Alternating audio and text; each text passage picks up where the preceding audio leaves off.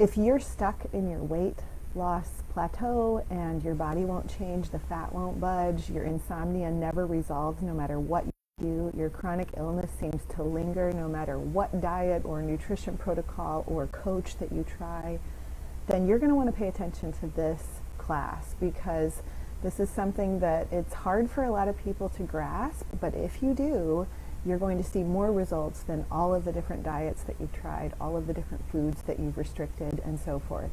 The truth is your body is not complicated, and what you're going through is not a very complicated, complex thing. Not that I'm minimizing whatever it is, whether it's Hashimoto's or lupus or just stagnant 20 pounds that won't move. But the world and all its 30 something year olds on YouTube that tell you what works for them and why it should work for you, that's what's making it complicated. The diet confusion, the fear that people are putting in you around, you know, you can you should eat this and you shouldn't eat that and you should do this and you shouldn't do that. And that's why when I work with someone, I work on a bio individual level because what works for one person isn't going to work for another. And I want to see what your body needs and what your symptoms are telling me that you need.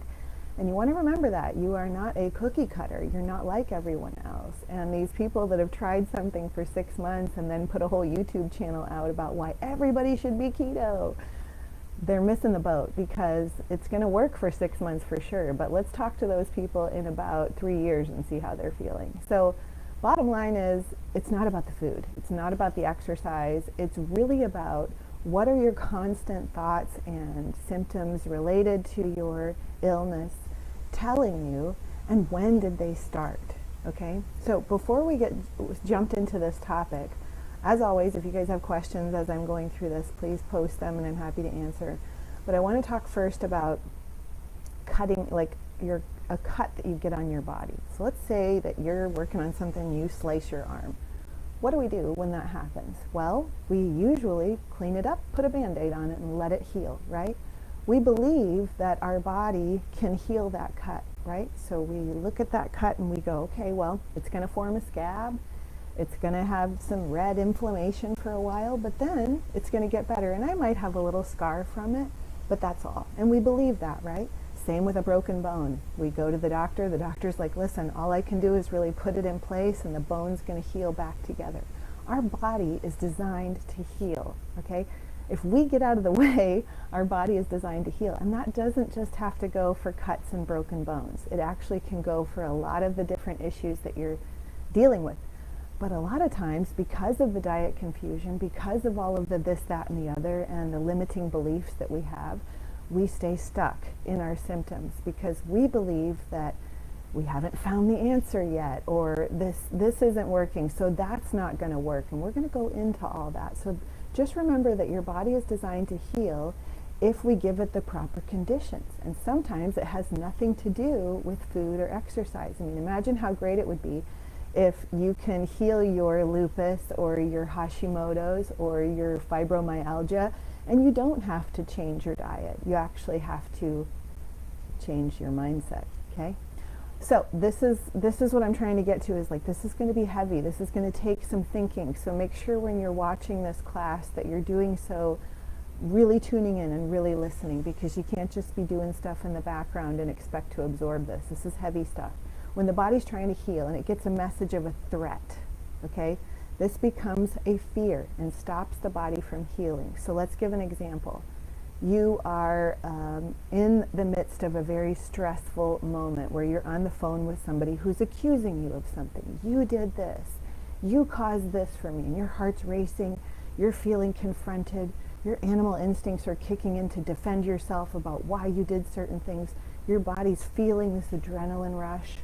And then, a couple days later, the issue's resolved somebody says, oh, I'm sorry, I shouldn't have said that to you, or it, you come down from the high of being accused of something and you get sick. You get a cold or you get a flu or you're, you're all of a sudden you're coming down with something. This is known as conflict and resolution, okay? You were under conflict, so you went into fight or flight. So your body at that point in time wasn't going to experience any symptoms other than go, go, go, go, deal with this, heart racing, adrenaline pumping. But when you came down from it, then your body's like, I need to heal from all of that junk stress hormones that were pumped through my system. So I'm going to take the time to elicit mucus and all these byproducts that get rid of the sludge in my system. Okay, so it's actually a good thing, but we don't feel like it's a good thing. Same thing happens with people that like train for a marathon.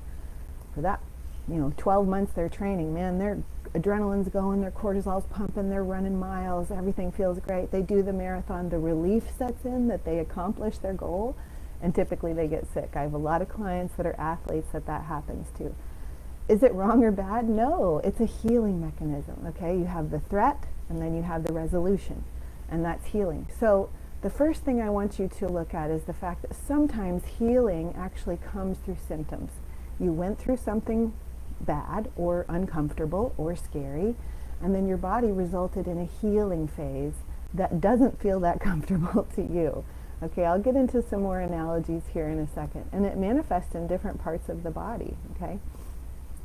Now, what happens though in some people is that sometimes we go through a threat and let's say you're a competitive person and you join CrossFit and you're for months and months and months you're doing all these lifts every day an hour workout killing yourself sore you know i can't i can't walk five days out of the week because i'm doing legs every day feeling great losing weight looking good muscles are building but then one day you hit a wall and you can't get out of bed and you have now taxed your body to the point of it's no longer able to release cortisol to get you up in the morning for your workout. And you wonder, what is happening to me? All of a sudden, I can't function. For months and months and months, you're dealing with issues like your hair's falling out, you're putting on weight, you can't have any energy, you're dealing with chronic fatigue, you're constipated, and all of a sudden you get thyroid panels and your thyroid's blown out and your adrenals are blown out, and you're like, what happened? How did this happen? I must be just getting older. But this is known as a hanging healing or being stuck in your in your conflict where the conflict is not getting resolved. And this ongoing issue becomes something that we seek out all these treatments for. Now I need this diet. Now I need to follow this protocol. Now I'm meeting with this functional practitioner. And yet nothing ever gets resolved because what are we doing? We're stopping the healing by all these different attacks of different modalities and fasting and intermittent this and intermittent that and that's not what our body needed, okay? What we needed is to go back and resolve the conflict of why did I feel like I had to be in competition? Why did I feel like I had to kill myself every day? What if I actually told my body to go into a hypothyroid state because I was putting pressure on my thyroid to overperform and at one point in time it drops down and I no longer can perform anymore because my body's telling me to slow down, okay?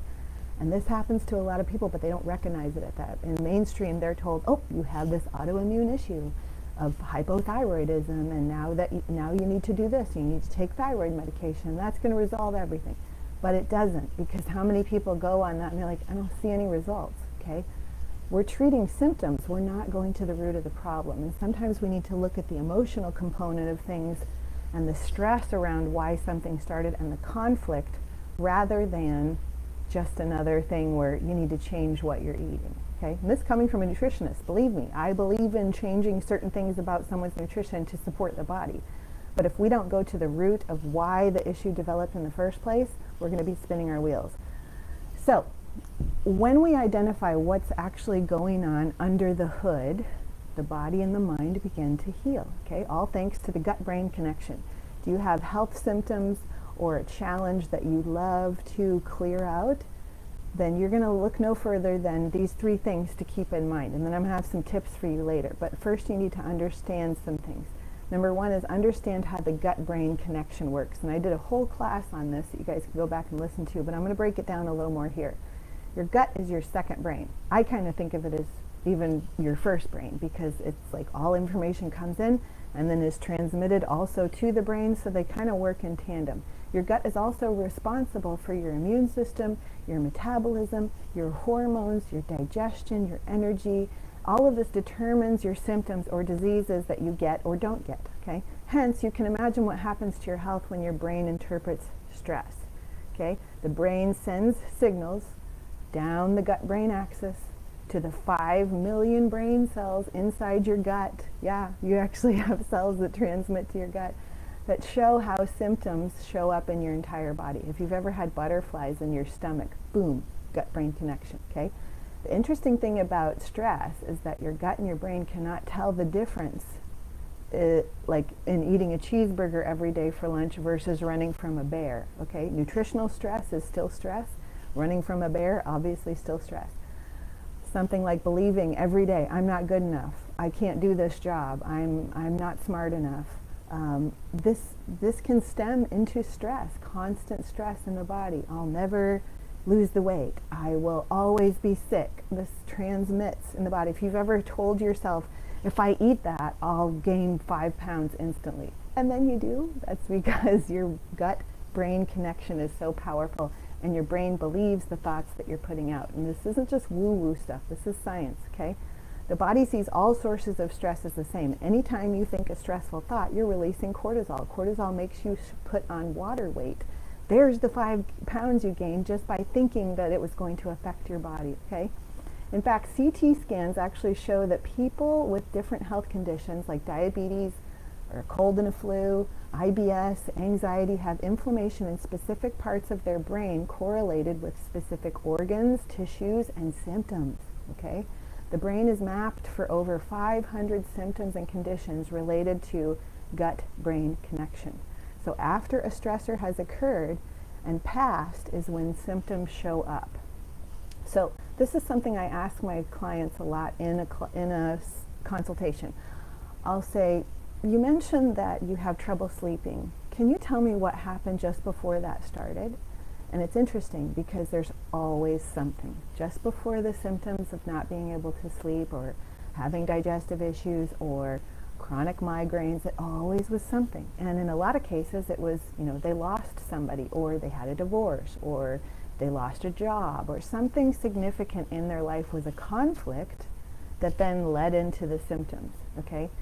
So if we don't go back and address the conflict, then the symptoms are ongoing and you're in what's called a hanging healing or a hanging conflict that won't resolve. So all the melatonin in the world and all of the valerian roots and all of the, you know, have some warm milk before bed, those are great to support the body, but you're not going to resolve the symptoms unless you go to the conflict that started it in the first place because the body is still on high alert from that conflict. It hasn't been resolved. So the stress hormones are still coming out and affecting us, okay? Different symptoms in the body are related to how we are doing life and what experiences, conflicts, and traumas are affecting us. Symptoms are often a metaphor of what's subconsciously going on inside the gut-brain connection. So, and they can be a good thing. Symptoms are actually a message from your body that conflict has happened and needs to be resolved. So whatever the symptom is, now you want to go back and you want to go, you want to understand that gut-brain connection. That's my understanding tip number one is that what happened just prior to the symptoms. I'll give you an example, uh, speaking of insomnia. So when my dad passed away, he died in his sleep on a couch. And it's interesting because for years I had insomnia, I had trouble sleeping, and it wasn't until I started sleeping on a couch and not a bed that I started sleeping well. And the reason was in my subconscious I was connecting with the loss of my father by sleeping on that couch, okay? And I had to tell myself, I'm not I don't need a couch to connect with him. He's he's at rest. I can be at rest. I'm safe.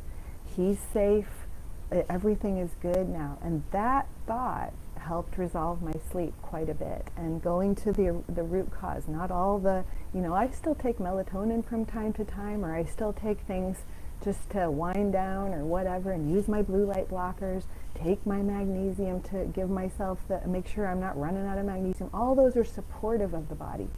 But in order to really get past my insomnia, I had to understand that that conflict that my body was feeling of I need to be connected to him. No, you don't. It's okay. You're connected to those people you love no matter wh where you're sleeping. Okay, so I had to tell my brain I'm safe. And that's a lot of what working on symptoms is doing. When we don't feel safe, we're under that same conflict or threat all the time. And we have to get past that feeling of unsafety and remind the brain and the gut we're safe. There's no issue here. There's no more threat. And even if it starts as something as here's a little tip of starting to tell yourself, I'm safe. My environment is safe. My choices are safe. This is what I'm doing to keep myself safe. then that starts to calm the body and calm those chronic stress hormones that are causing the issue or whatever it is, okay? So let's go through some symptoms that you might be feeling that actually can help you identify and understand what your body is dealing with on a conflict level, meaning that this we're going to break down some symptoms and then some conflicts that could be causing it so that you can see, hey, that's right. I did start having gut issues after um, somebody told me, you know, that my, I wasn't measuring up at my job or whatever it was. Okay, let me let me spell that out for you. So, food intolerances, bloating, constipation, digestive issues stem from what's called an indigestible or undigestible conflict in the brainstem region. Basically, you, you had something that was told to you or done to you that you couldn't digest. Like maybe you lost someone and you're stuck in that phase of, I can't believe they're gone. I haven't learned to accept that that person is gone. And you weren't able to digest it. So since the time that they had passed on, you then became gassy, bloated, uncomfortable. You were diagnosed with IBS or Crohn's or colitis or whatever. Because you figuratively couldn't digest your food based on the feeling of the emotional undigestion, that gut brain connection, okay? So, this is something that, you know, we get hunger around something that we figuratively can't digest, swallow, eliminate, that shows up in our digestive organs. Like, the, even the metaphor of like, that's hard to swallow. You know, some news that you get is hard to swallow. A lot of people dige- uh, got digestive issues during the pandemic because it was hard to swallow that the world had become as uncomfortable or scary as it was. So I saw a lot of clients coming to me on Zoom going, man, my gut's all messed up. Is it something, you know, I'm doing? Am I getting too sterile from all the hand sanitizer? I'm sure that's a part of it because we need good gut microbiomes, but it also is, let's go back to when that developed. And a lot of them would say, I was really scared and anxious and nervous when this pandemic started and I was so scared I was going to get sick. There you go. It was hard to swallow. It was hard to digest that we lived in a world that was that scary. Okay, so once we look at it from that level, then we can go, oh, okay, now I just need to understand that it's okay. I'm not in that threat anymore, and I can calm down, and my gut can calm down. Same thing with bloating. I have a lot of people that come to me, oh, I'm bloated all the time. I don't understand why, and I'll ask, what's going on in your life? Oh, I'm so busy. I'm so stressed. I have this, that, and the other, and I, you know, I have trouble saying no their life's actually bloated. And so their gut will be bloated as well because what we do in life actually can manifest in our body. And that's the message our body is sending us. Tink, tink, tink, I'm not okay. Like the choices that you're making are not supporting me nutritionally or emotionally or mentally or whatever it is. Okay, so then we have to look at let's dial back. Let's pull some irons out of the fire. Let's learn to relax a couple days a week and see if your bloating gets better. Nine times out of ten, it does. Now, acne, skin issues, rashes, um, just any sort of dermatitis or skin issues, these are known as an attack conflict. Skin issues can also be a boundary conflict. Somebody has um, had some separation and now they're they're missing someone that they're separated from or they're having issues where they want to separate from someone who's toxic in their life. Our skin is our separation from the world. And our skin is what keeps us from internally being attacked. So acne can actually be manifested, a lot of times we see it in teenagers because teenagers go through a phase where they feel like they're being attacked from their friends, like putting pressure on them, their parents putting pressure on them. So they develop acne. And yeah, a lot of people go, oh, it's the pizza they're eating or the fried foods or whatever. But really, their body is reacting in a um, mechanism of safety to protect them in the form of acne. So it's releasing these oils to protect the skin, which results in the acne developing on their face. Same thing with rashes or eczema or psoriasis. Now you're looking at a separation issue. The skin is being separated and getting thicker or forming flakes or mounds or um, developing like this raised inflamed area because there's an issue with separation. Maybe a child or a teenager went through a divorce and they feel like they're being pulled from, you know, the parent side and the the dad, the mom and the dad, they want to be with one but they want to be with the other, you know. So there's this separation conflict. Or it could be the parent. Every time the child has to go to the other parent's house, they develop this itchy rash And it's really the body manifesting, I'm not okay, I'm under threat, I'm under conflict because I need that person in my life. I don't want to be separated from them. So this is so interesting because it doesn't mean that you have to go use Proactiv or what all, whatever these acne creams are. In fact, you don't want to do that. You don't want to disturb the skin microbiome. You want to understand that there's something going on, you're feeling attacked. Where are you feeling attacked? How can you resolve the attack and feel okay, feel like you're no longer under threat, and then the skin calms down. So then we have all the issue of autoimmunity. There's a lot of people dealing with autoimmunity. In fact, I did a whole class on that. Often stems from a gut hunger for self-worth. The immune system degrades its own tissue, just like we degrade ourselves with thoughts like, I'm not good enough. Highlighted by inflammation in your frontal lobe, the brain region connect, connected to negative self-talk. Isn't that interesting? So you can actually feel degraded and then your body manifests this issue of degrading its own tissue. And so in that case, what would you do? You would go to the negative self-talk and go, why do I feel this way? Is this my voice? Did somebody tell me that I wasn't good enough? Because if I actually dissect the voices that I'm hearing, was it my mother's voice? Was it my father's voice? Was it you know, some a boss I worked for that told me I wasn't good enough? How do I feel about myself? Do I feel like I'm putting my best foot forward? Then yeah, I do have worth and I need to start valuing myself, okay? Speaking of that, back pain, joint pain, inflammation of the joints or tissue or muscle can be self-devaluation, okay? You're not valuing your body and it represents a stressful or difficult burden we've been trying to carry, okay? And so we feel like we're always under the weight of, of somebody else who didn't value us and they, they, or we devalued ourselves based on a situation. I heard about a gal that um, went through a choking instance and she felt like that was so silly. Why didn't I just chew my food? I'm such an idiot. And she devalued herself. And she started to have this chronic uh, jaw pain around where, you know, around her neck. It went down into her neck just like the choking thing had occurred. And it wasn't until she talked to somebody else who had also had a choking experience. And this was a highfalutin, really successful guy who had his life together. And she realized, well, if he was, if it's simple enough for a guy like him to choke, then maybe I'm not an idiot. And the symptom resolved. All of her pain went away. So it's interesting that when we look at like, why did this spot on my back that just started to hurt manifest? You know, what happened just before then? What conflict might you have gone through that led to you feeling devalued and carrying the weight of a stressful burden? Constipation, going back to gut issues, often related to also an indigestible conflict, something we feel stuck in or can't eliminate. Perhaps you have someone in your life that you need to be a caregiver for, but that person is very difficult and it's hard for you to digest that this is your life taking care of them. Okay, constipation can be a lot of other things. It can be a magnesium deficiency. It can be a thyroid issue. But again, we go back to why the magnesium deficiency? Why the thyroid issue? What happened just before that? Okay, and we've all felt heartbroken or had gut reactions that we had to get something off our chest. So things like heart issues, chest pain, what is something that's weighing down on your chest that you haven't addressed? And you know it's floating around in the back of your mind but you're not willing to go there.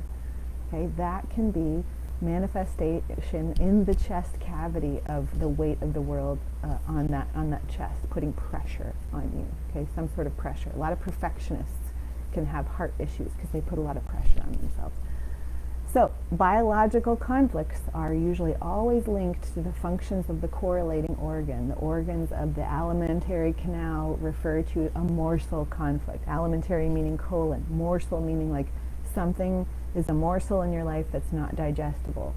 Not being able to swallow, digest, eliminate a morsel. The uterus, the prostate, this is a procreation conflict. So somebody with uh, prostate cancer or something with maybe like a uterine cancer could be dealing with the fact that maybe they never were able to procreate or maybe they didn't have the the amount of children they wanted. Maybe the ones they have are having issues so they're feeling that in their procreation center okay? And then the skin like I mentioned to separation conflicts.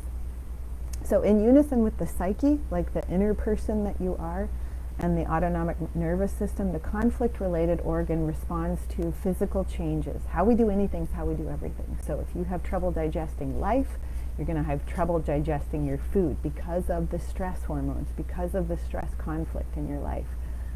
And that's that's kind of that's what I mean about this being heavy and hard to digest right now because we're learning about things that have nothing to do with, you know, eat gluten free or go on a keto paleo approach, you know, or go carnivore. Like that's not the recipe. That's treating the symptom. You need to go to the why of why did this manifest in the first place? Why do I have gut issues that need to be resolved with going carnivore? Okay, and that's where it's a little bit digger, a deeper of a dig. But when you do, you've resolved it. You can eat what it is that you're naturally prone to or intuitively wanting to eat rather than restricting yourself and doing this vicious cycle of stress, okay? So with long-lasting conflict activity, such as that hanging conflict I mentioned, the continuous cell augmentation can happen. What that means is proliferation of cells can lead to tumors or cancers. A cancer that originates in glandular tissue, such as breast glands, and a, a, tumor that's secretory quality, like the organs of the colon, like a colon cancer, is usually called like an adenocarcinoma, so adding to the body, or proliferating cells. And so this is a hanging conflict. Your body is developing this, this conflict activity in the body with continuous cell proliferation, okay? And that's, that's not something that we want. However, the tumor can actually be a good thing. That's a whole nother class sometime that if you want to dig deeper with me, we'll get into because your body has a way of building tumors in order to encapsulate something that's a conflict so that it doesn't affect you. Some people can't buy into that because they see cancer as a bad word. And I'm not going to negate that cancer isn't dangerous or that it's not, you know, something that you want to address. But there is a different school of thought out there that is all about we want to work with the body rather than fight against the body. Okay? So, bottom line, hanging conflict refers to a situation where a person can remains in that conflict state because the conflict has not been resolved. So I want you to be brainstorming in your mind as you're hearing this. What conflict always kind of rings true in the back of my mind that I haven't really processed. I haven't grieved over it. I haven't cried and said, that wasn't fair. That shouldn't have happened to me. Or I was wrong. I need to go to that person and apologize. Or I wasn't truthful and I've been carrying this issue of not being truthful with somebody for a long time and I need to own up to that. I need to take a step of faith and go tell somebody what I did your, your issue is going to be resolved. What if you did that and what if your symptoms got different and actually went away because you resolved where they came from in the first place on an emotional level, okay? Then there's also like food allergens. I mean, some people develop food allergies based on an emotional conflict, not having to do with you just ate cheese one day and you're like, now I'm lactose intolerant, okay? Food allergens such as milk or dairy intolerances causes different symptoms in different people, okay? Some people get mucousy, they get nasally, some people get instant diarrhea when they eat it, runny nose or itchy eyes or cough, like this chronic cough from dairy. So it's we need to look at the why. What were you doing when there was a conflict? Maybe you were eating a cheese sandwich or you were eating some yogurt whenever you went through something really conflicting. Somebody had a really big argument with you while you were eating macaroni and cheese when you were little. And since then, your body senses, okay, this food, this environment, this substance is a threat to me, okay? As far-fetched as this sounds, we are not allergic to specific foods. We are omnivores. We're supposed to be able to eat all different kinds of things, and we should have a robust system to be able to do that. But if we were in a conflict during the time that we were exposed to some sort of smell, a cleaning agent, a cosmetic, a metal, a mold, a dust mite, um, we were in a dusty environment, we, so we developed dust allergies. We were with a dog whenever we were yelled at, and we developed dog allergies. As far-fetched as this sound, our body registers those threats that were in that same environment when the conflict occurred as just as dangerous as the conflict okay? We can therefore also be allergic to a certain person, a specific location, a smell. You might smell something and all of a sudden you're like, oh, that that that gives me allergies. Every I have an uh, I have an aversion to perfumes or an aversion to these certain smells because maybe that person had that on them, and so it, it equates a threat to you. Okay, so you just start developing these allergies because of those specific environmental threats, including the food that you could have been eating during that time. All right, enough about that. Now, going a little deeper on the morsel conflict, uh, conflict, hunger is all about not being able to figuratively digest, swallow, or eliminate something in our life. Okay, so some examples may include not being able to di digest difficult news, being told you're fat by the popular girl in school and having a tough time swallowing that, struggling to eliminate a bad person in your life because you love that person but you know they're toxic to you, so it's very hard, it's difficult to swallow it's difficult to digest that that relationship has ended. Morsel conflicts often show up as gut issues, also thyroid issues, because the gut affects the thyroid. We actually, like I've said in other classes, T4 goes down to the liver and becomes T3. If the liver's under conflict, then we don't make that T3, so the thyroid gets sluggish. Heart issues, weight gain, respiratory issues, eating disorders, food intolerances. Why? Because everything is transmitted from a gut level, okay? All information comes through the gut. Then you have the attack conflict, okay? Somebody attacked you. Maybe you had a parent that was always like on your back about stuff, yelling at you and attacking you. Exactly like it sounds like, feeling like others in the world or others around you in your life were attacking you. A knife in the back. Maybe somebody gossiped about you and you still ruminate on the fact that why did they say that about me to those people? being rejected or fear of being rejected because you were rejected by someone who attacked you. Verbal abuse or physical abuse, okay, that is being attacked.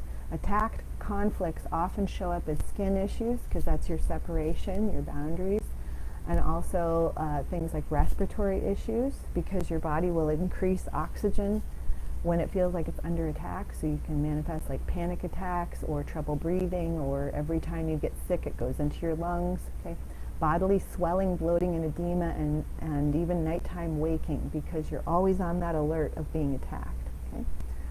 Um, migraine headaches are interesting because conflicts linked to migraines are, for example, powerless conflicts, feeling powerless, security conflicts, or feeling insecure, or feeling like you're always having to protect yourself from someone, okay? biting remark conflict, somebody who's you know attacking you or having biting remarks, territorial fear. You don't have a territory because you're in fear of those over you who have taken territory control. Okay, frontal fear, fear of an attack on your frontal thinking, like your your ability to make good decisions and self-care. And recurring migraines are caused by this conflict relapsing, like you're in it, you, you're no longer with that person who was attacking you with the, when the migraines first started. But now you continually find yourself in situations where you are on the alert. And as soon as you feel that attack from that individual, then all of a sudden you're like, oh my gosh, here comes a migraine because I have to shut down. I can't deal with this. And that's pretty much what a migraine is, is it's your body's way of going, I can't feel the threat. I need to shut down. And it feels the pain instead, okay? So there is just some breakdowns of what some symptoms are. Um, you can also talk about that self-devaluation or self-esteem conflict. You're the hardest one on yourself, right? You're the perfectionist. You're constantly comparing yourself or cutting yourself down. You feel like you'll never find uh, the one maybe you're you're you're single and you're looking for the one but you're so hard on yourself and you're so hard on your choices about who you would end up with feeling left out um, from others beating yourself up because you don't feel worthy of friends or things like that. Self-devaluation conflicts often show up as autoimmune diseases hair and organ loss. So if you're having that hair loss we talked about in one of the classes it could be because you're devaluing yourself and your body's not prioritizing hair growth Okay, right now it's going through a stress conflict. Gallbladder issues can actually be self-devaluation and self-esteem too, and musculoskeletal issues and osteoporosis because we're, we're devaluing our body's ability to rebuild and repair. And then territory and separation conflicts, feeling threatened for survival, safety, experiencing any sort of frustration from not being heard, experiencing loss or separation, moving to a new city when you were younger, having to change schools all the time. Maybe your partner's not on the same page, you're two different people and you have two different goals and you just don't feel like you're connecting and you're, you're kind of clashing territories. Um, maybe your child's growing up and leaving the nest, so there's that separation conflict. Okay, separation conflicts also can result in hormonal imbalances, um, infertility for people who haven't had children. Even tumors and cancerous tumors, cysts, and adrenal issues can show up in territory. Also, the boundary issues of like not setting boundaries, or maybe somebody didn't set boundaries for you younger, or they stepped over a boundary and they touched you inappropriately, or perhaps there's been boundary issues where people have crossed the line with you. These can show up in UTI and interstitial cystitis and bladder issues and kidney issues. Yeah, isn't that interesting? Because the bladder is a, uh, it's a territory, and you mark your territory with your pee, and so it can be a boundary issue. So it's kind of interesting um, where all these stem from. And if you want to look into this further, there's a, there's a type of um, information you can look up about what I'm talking about, about the conflict issue in your body that manifests into symptoms. And it's called German New Medicine. And so this has been around a long time and it stems from things like Chinese medicine, you know, Ayurveda. So it's got it's got realms of all of that. And I love to study different varieties of medicine that really go to the root of why somebody's struggling, not treating a symptom. Because there's a lot of functional practitioners out there that they're not prescribing pharmaceutical drugs. So you go to these natural doctors and they're like, here, take this supplement, this supplement. Here's 65 different supplements that you need to take to treat your symptoms, okay? Which is fine. I'm not saying supplements are bad. I recommend supplements from time to time too. However, you're still treating a symptom because I can give you melatonin to help you sleep, but why aren't you sleeping? Okay, that's what we want to go to. When did the sleeping issue begin? Let's go to that root first. And I do that with people. In the meantime, I might give them melatonin and magnesium, but I'm also going to ask them, when did this start? And what can we do to remedy it in the meantime? How can we move you out of conflict and into resolution? Okay? So remember, symptoms really only show up after the stressor or the conflict has occurred and passed. So if you're, after all, if you're running from a bear, the last thing your body wants to do is stop and feel the ankle you just sprained. You don't have time to feel symptoms when you're in the conflict. However, after you've escaped the bear, you look down and now you feel your ankle hurting, okay? And you'll hear it like on Shark Week on Discovery Channel, like if people are hit by a shark, they don't feel the pain until they're on the beach laying waiting for the ambulance, right? They swam back to shore, they were in the conflict, their body got them through it, but then once the conflict was over, now they feel the pain in their leg, okay? So that's how the body starts the healing process it's interesting. Our symptoms may not be these horrid things that we beat ourselves up about, I'll never fix this, and da da da da. They actually can be the beginning stages of healing. So instead of treating the symptom, we want to support the body as it starts to heal. And in the meantime, we want to go, why did this manifest so that it doesn't continue to be a hanging conflict? Hopefully that makes sense. All right. So tips to become your own healer here because you know your body better than anybody and you need to be the one that starts to work on this rather than spending seven minutes with your physician. Not to say that's wrong or bad, but they don't know you like you know you, okay? So disclaimer, I make no claims here to treat, cure, or heal because frankly your mind and your body are the only options to heal to help heal yourself. Only you can heal you. Nobody else can. So number one is awareness. Okay? Anything, with anything in life, we have to become aware of why, what is going on that I need to address. So do a little bit of reflecting and journaling and digging. Here's some questions. What are my symptoms trying to tell me? What conflicts or stressors have I, have I been going through or have been ongoing and I've not resolved them yet lately, okay? Or when did the symptoms start? What happened just before then? Just like I ask my clients, okay? Here's another personal example because many of you have known that I went through a toxic mold exposure. And this is what I divulged from it as the years have gone by because this was like eight years ago. If you've ever lived in a college dorm or a home older than 10 years or moved homes a few times in your life, we've all been exposed to mold at least one out of two homes nationwide have some sort of mold contamination. There is no escaping it because water gets in houses, bottom line. Water is in houses. I mean, we have showers, faucets, toilets, all of this thing. That said, what separates one person from getting super sick like I did while living in mold and another person like my husband didn't show up with any symptoms at all? So why did I grow up in a whole home that I know had mold because my mom had dehumidifiers all over our basement and yet I didn't get affected until I was like 35 years old, okay? Here's why I got affected at 35 years old. I was sleeping four or five hours on most nights. I started my own business. I had a baby and a family to care for. I was working nonstop and traveling nonstop for the other business that I worked for. I was working out three to four hours a day. I previously had lost family members and had been infertile for seven years. So you do the math. Was it the mold that got me, or was it the conflict, the stressors that I'd put on my life that put me in a state of stress where my body was able to be affected by the mold. This is where the gut-brain connection comes into place and the perfect storm of other significant stressors in your life that the brain then associates with mold.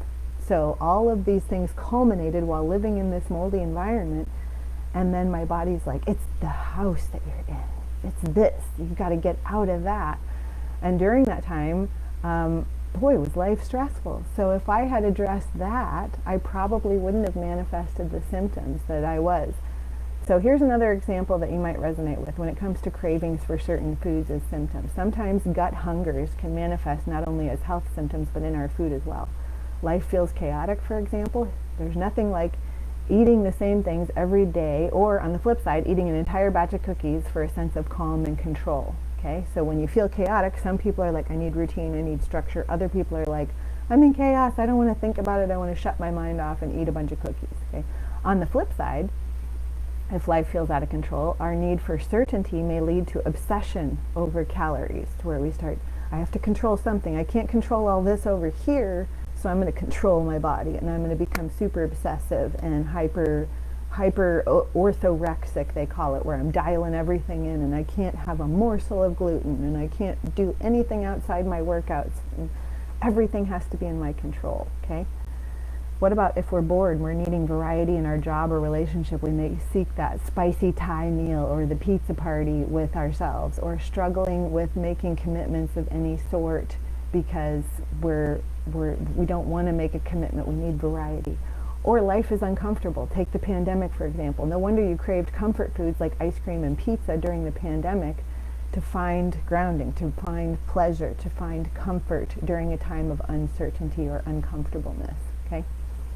So the food side of things, restrictive eating is often an identity conflict for many, a lack of self-worth. For others, it's a lack of love. Restriction and self-denial eases the pain. Maybe we were restricted about things about when we were children and that connects us to our parents, that restriction, that self-denial, we connect with that because that's what we grew up with. Stuffing your face followed by purging, like some sort of binge eating disorder can be a lack of control. You feel stuffed and to release the overwhelm, the purge happens, okay? Binge eating is often due to a lack of love and connection, so we find that the food is always there, on a similar note, chocolate cravings have a signal for a need for love and connection. Crunchy and salty foods can uh, represent unexpressed anger. We just crunch and we can deal with some of that frustration in our head, okay? So the, the, we numb out the feelings with that constant crunch. Uh, then maybe you're really dialed into, I am so vegan, I'm so raw vegan, and I'm with this raw vegan community or I'm with this keto community, you may be seeking identity or a sense of purpose in other areas. So what are you hungry for? All right, so number two, a tip to help you is experiment. So first you're going to get that awareness. That's tip number one. Ask yourself, what happened just prior to the symptoms? What am I hungry for? What's going on in my life that feels out of control? Okay, number two is experiment to resolve the conflict. Trying to find a practical solution is therefore the best as it's most lasting. So a loss of a, a, job, for example, could be dealt with by picking up an old hobby, okay? So I can't do this, so now what would I do that would bring me joy since I can't do the job that I loved, okay? Um, territorial anger like you're having a territory issue, you're having bladder issues, you're having chronic UTIs. Maybe that you need to move. Maybe you're feeling territorial anger with your community. You don't feel like you're uh, your territory is safe, so it may require a move. Now that's pretty drastic, so that might be something that happens later. Maybe you want to resolve the issue with the neighbor first and give them the benefit of the doubt. Solving a problem such as telling someone they hurt you, saying I am sorry to someone you've hurt, or grieving the loss that you haven't grieved yet by just crying and saying it wasn't fair to lose that person I loved. Sometimes conflicts resolve themselves. For instance, when life circumstances change, or when other matters gain more priority, or maybe somebody comes to you and says they're sorry, all of a sudden the conflict resolves and you don't have the symptoms anymore, okay? On a spiritual level, conflicts we're facing are an invitation to reconsider our attitude. Pray, let go of the anger, uh, crying therapy, talk therapy, trying to see the larger picture, understanding the position of people involved, looking from where, what their background was, why they hurt you in the first place and to practice forgiveness and loving kindness as a true source of healing. So those can all be ways to experiment to resolve the conflict. Okay? Now number three, notice and be gentle with yourself and self-care. With the resolution of a conflict, the autonomic nervous system switches into this what they call lasting vagotonia or the vagus nerve stimulates and calms you down. Okay, in this prolonged state of rest, which can result in fatigue. It can result in needing to wind down and rest from that chronic fight or flight that you were in. So what I'm saying is sometimes when you resolve a conflict, you're going to have different symptoms, or the symptoms may get worse before they get better because you're in a resolution phase and it's time for your body to calm down. So let the healing happen. Allow for rest and maybe you're going to have an appetite. So eat the eat foods that nourish your body. This is the time when we want to dial in our nutrition. Maybe take some supplements that help your body heal. Okay, so that's where it's it's important to support the body with self-care rather than rely on those supplements as the way to heal. Okay, that's not the healing. That's the support. It's a supplement to your healing. Okay. If the healing phase is intense, the tiredness, the chronic fatigue could be so overwhelming that you can hardly get out of bed. That's when you want to really support the adrenals, but also allow for that rest. The need for sleep is particularly strong during the day if somebody has chronic fatigue. And that onset of tiredness, um, as diagnosed generally as, gen as chronic fatigue, can happen. And so it's not going to be like that forever. You got to allow for the rest, and then as soon as the resolution has occurred in the body, you're going to get back to normal. Um, low pulse rate or a slow pulse, low blood pressure, this is all coming down. Maybe you're going to start to feel your hands get warmer. That's a good indication that you're healing if you've been cold for a long time or your temperature increases. Those are good indications that you're moving in the right direction. So while you might see some symptoms pop up when you're healing, you also might see some resolutions that keep you moving in the right direction. Okay, it may not feel like you're healing and certain nutritional helpers can be a good adjunct, like I said. So that's when working with a coach can be really important here.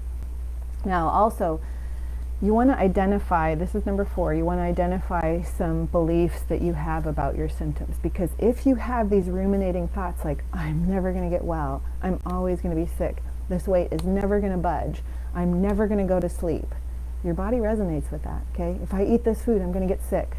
Stop saying that. like, our words are power, okay? The, the power that we have in our thoughts and our words affect our body. So after you identify, first you want to identify the beliefs. Write them down in your journal if you have to. I believe that I'm never going to heal. I believe that I'm sick all the time. I believe that I'm irritable and negative and I don't know what to do about it. Okay, write those down. Be brutally honest with yourself. Then, after you identify those, tailor the work to your symptoms, meaning go back to just before the symptoms occur, like I said, and see what the conflict was. Did somebody tell you that you're never going to own up to what you should be? You're never going to be good enough? Do you never do anything right? Okay?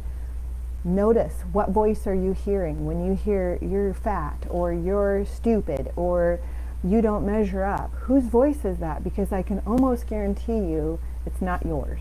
It's somebody else said something to you that made you feel the way you do. But if you wipe all that away and you say, what do I think about myself? Apart from everybody else's opinion, what do I think? Was I always doing my very best? Was I trying? Was I doing what I knew to do was right at the time? then give yourself the benefit of the doubt and go, I am okay. I am good enough. I can do this. This next thing I try might work. Okay? So we want to go back to just before and note, I want you to identify the voice that you're hearing. Now, not the like, the voice is in your head, okay? I'm really talking about somebody at some point in your life said something to you that formed a belief, whether it was a parent, a teacher, a sibling, a friend at school, or a bully. Somebody formed a belief in your mind about yourself, and you need to identify whose voice that is because that's not your voice, okay? All right. So after you identify that, then that's when you want to develop the opposite of that belief. I can heal, okay? I can eat certain foods. I feel safe when I do these habits that make me feel good. I'm going to focus on the things that make me feel safe. We have to look at things in your environment that are making you feel unsafe and fix those so that your belief can be I'm in an environment that is conducive for me to heal.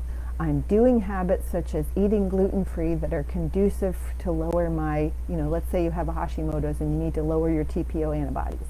I'm doing that. I'm making time for rest and relaxation. I'm treating my body with respect. I'm doing all these things in order to heal. So this is my new belief is I believe I can do this because I'm setting up the proper conditions to do so. Okay? Change your limiting beliefs to truths about what is actually in your control to speed your healing and go to the root of the issue. And it's pretty much the opposite of whatever your limiting beliefs are. You're going to say the opposite of that, okay? Change your thoughts to change your brain, okay? One more tip is for those of you that have, all of us have been affected by our parents in some way, right? Our parents were just doing what they need to do. Their parents were just doing what they need to do, knew to do. And we've all screwed up as parents. Our parents screwed us up. It's it's out there, you know. We've all done talk therapy about what our parents did to us. It's cool, man. We're imperfect people. We do the best we can with our kids, and that's all we can do. Okay. But many of our conflicts are because our beliefs, like a parent, was someone who ensued these fears in us, these negative patterns of thinking, this self-devaluation, if you were abused, you might have boundary issues, or if you have too strict of parents, or maybe you had parents that didn't set boundaries for you when they were peer parents, you can do whatever you want. Now you feel out of control because you don't you haven't set any boundaries for yourself. Okay, all of these are things that we can start to reparent ourselves. Start to talk to yourself like you would want your parent to talk to you. You need to turn off your devices at 8 o'clock because that's best for your health, right? What would you do as a really loving parent for your child? What would you do as a morning routine to make sure your day went the best way possible? What would you do to calm yourself down when you're in a stress conflict? That's how you want to talk to yourself on this level of limiting beliefs so that you can start to separate from those other beliefs that were patterned in you, okay? It's kind of like a computer. If it's always running the same programming and it gets a bug, then that program gets screwed up and the computer doesn't run as fast. So if we go and reprogram the computer and we take it to our computer guy and he reprograms everything and it works, it functions, now it's running a new program. It's running, you know, Safari, Snow Leopard, Max 10.0 or whatever it is. That runs everything better and we start to live happier and healthier. And so that's what you want to do is reprogram the way that somebody talked to you. Start talking to yourself the way you would have liked that person to talk. And this can start manifesting that healing issue in the body. So that's all. That's huge. You guys are like going through all kinds of situations in your head right now. What was the conflict? What did I go through? What did somebody say to me? And that's where I want you to be right now, identifying and becoming aware. That's the first step.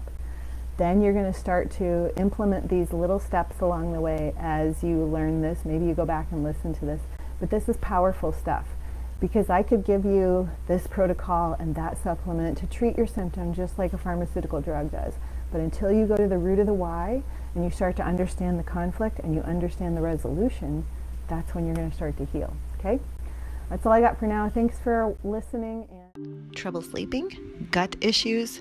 Do you know your thyroid is off, but your doctor won't do anything about it? Symptoms don't lie. If you feel like you don't feel good, then something is off. Listen to that inner knowing and reach out. That's what I'm here for to help guide you towards what's going on at the root of your issues and get them resolved. Bring back your vitality, your energy, your happiness, and get that body you've always wanted with nutrition and lifestyle therapy. I approach it from a very bio individual way, and each consult is unique to you, where I get to know you and what your body needs. Rates are affordable with different options depending on what you need and what you can afford. No two people are alike, and none of their lifestyles are alike, so I don't approach any consultation the same as another.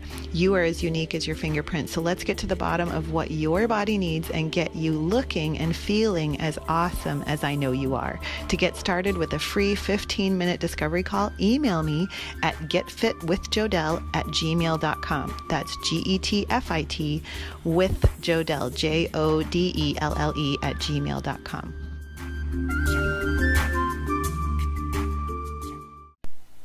Well, it's not raindrops on roses, but these are a few of my favorite things that I always notice a difference in my health when I stick to these healthy habits. So, number one is watching the sunrise or some sort of red light exposure every single day. Number two is grounding and earthing daily. And sometimes I combine watching the sunrise while swimming in my local lake. First thing in the morning, as the sun comes up, I'm grounded, I'm earthed right into this natural body of water. Number three is C60. I've been using a supplement called C60 Purple Power for over three years now with great results. I don't intend to stop. I use it for a variety of reasons. And number four, as most of you know, I am a professional paddleboard athlete. So paddleboarding is always part of my weekly regimen of keeping my mind fresh, getting my vitamin P, and keeping my body in a really great healthy state with lots of active relaxation in that form of movement that uses up your entire body. Now I'm going to have a link to a few of the things that make these habits more efficient, more affordable, and effective for me in the show notes of this podcast that I personally use and recommend daily to my clients. The first one is going to be if you can't get some sort of sunlight exposure, then consider a red light device which I love SaunaSpace, and I'm going to have a link where you get a 5% discount in saunaspace.com in the show notes here, so check that out. Also, if you need to get grounded, but you're working at a computer all day in an office on the fourth floor, I get it. Let's get a grounding mat underneath your feet so while you're getting all that EMF exposure, it's actually just getting right out of your body and you're getting grounded throughout the day. So I'm going to have a link to Ultimate Longevity where you can get a simple universal mat to put right underneath your feet. And I'm going to have a link to C60 Purple Power where you can save 10% on this supplement that can be used from anything to more energy, to better hair and skin, to also helping with blisters and bruises and scrapes and even zits. Yes, you can use it even as mouthwash. So there's so much you can do with this. And for paddleboarding, I'm going to recommend GlideSUP, Glide SUP stand-up paddleboards because they come in inflatable as well as rigid hardboards and they are by far the best boards I've used as of recent years to make sure that I'm getting a quality board that gets me out on the water and I don't have to worry about it having any issues. So that's glidesup.com and you can get 10% off using my code that will be in the show notes. So I hope you get to use some of my favorite things, but also reach out and tell me about them. Tell me about what you like about these products too. GetFitWithJodelle at gmail.com.